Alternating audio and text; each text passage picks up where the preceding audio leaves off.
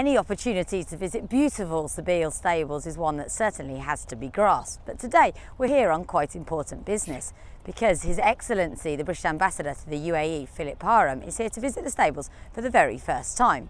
At the moment, Satish Seemar is giving him the grand tour, but hopefully in a moment we'll be able to catch up with him and find out exactly what he thinks of the place.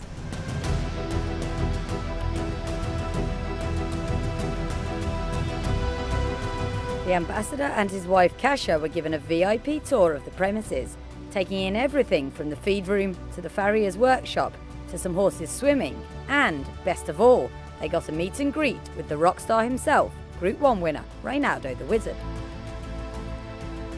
It was the ambassador's first visit to a Dubai stables, so we managed to grab a quick word with him to find out what he made of it all.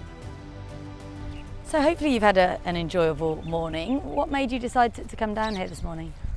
Uh, well, I had the invitation and uh, uh, was very keen to accept it uh, because this is clearly a very uh, important, exciting, interesting, but perhaps not as well known as it should be, part of the relationship between the UK and Dubai. And Satish has given you, I think, quite an extensive tour. What, what do you think of the place?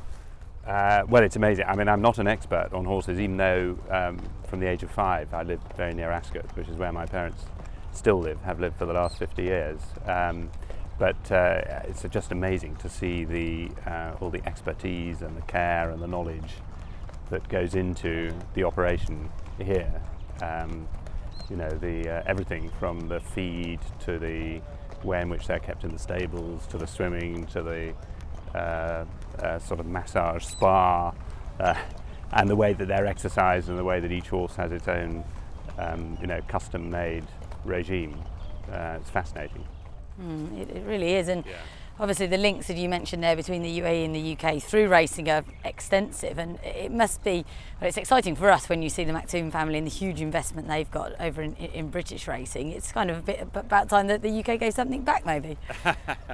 Well, yeah, I mean, what, what they have done for British racing over the last 40 plus years uh, is, is extraordinary. You know, Godolphin and the other uh, investments in British racing and involvement in British racing from the Al Maktoum family have really shaped and influenced it over, over decades. And there are thousands of people who work uh, for them and the stables and the land and the horses um, and the sort of presence that they bring to racing in the UK is fantastic.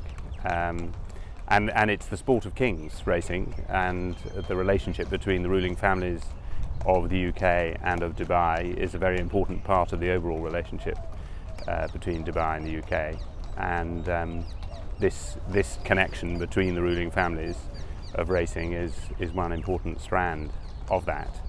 Um, and as you just uh, implied, of course, we're seeing now more uh, involvement coming the other way as well. And this morning, as it happens, I just met uh, an English owner and his family who are here to see their horse that's being trained here race here for the first time in, in a few days. Uh, so that's an exciting trend as well. Is that something you'd, you'd, like to encourage more British owners taking sort of advantage of the facilities here in the UAE for their horses?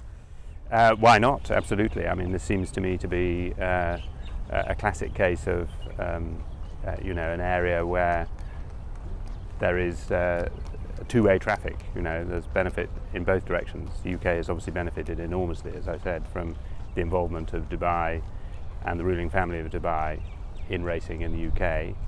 And um, you know, let's hope that there can be benefit in the other direction as well. Mm. And as I'm sure Satish will, will, have told you, most of the horses here come from the UK. They're purchased at, at Tattersalls, yeah. and I suppose that's quite important in terms of you know, sort of getting a, an income stream into British racing for people going back here, buying horses and then bringing them back.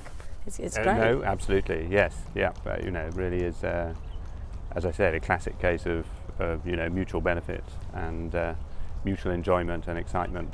Um, and, and one of the other big benefits that uh, Dubai has brought to UK racing as well, I understand, of course, is sponsorship for Channel 4 coverage of, of racing as well. Mm. And do you think that sort of in this uncertain times, should we say, that, that sport is just kind of a way for countries in general just to kind of get on and, and, and bond and, as you say, sort of share a, a mutual passion? Yeah, uh, without any doubt at all. And of course, um, you know, racing is a very special uh, sporting link between Dubai and the UK, but there are all sorts of other sporting links uh, too. I think the English cricket team has, has just been here in the UAE for, for several weeks. Um, we've just had the Dubai Rugby Sevens where the English seven-a-side team, although they lost unfortunately to Fiji in the final, nevertheless, um, uh, you know, regarded almost as a home team here. And uh, perhaps little known fact now, I don't know, but not among sporting fans maybe, um, Sebastian Coe, one of his first big race wins was the Dubai Golden Mile. Um, and that's actually an example of um, innovation and uh, trailblazing in sports sponsorship as well, which Dubai has, has done, uh, you know, starting with uh, maybe racing and things like the Dubai Golden Mile and of course Emirates, uh, you know, who are amazing sponsors of sport around the world, including in the UK. So I know Satish has invited you along um, racing at Meydan. You've met the, the stable stars. Are we going to be able to get you hooked on, on the sport, do you think? I think without any doubt after this morning, yes. And my wife too, who's, who she knows much more about horses than I do uh, and, and has been a keen rider herself. So I think without any doubt from this morning on, we're hooked.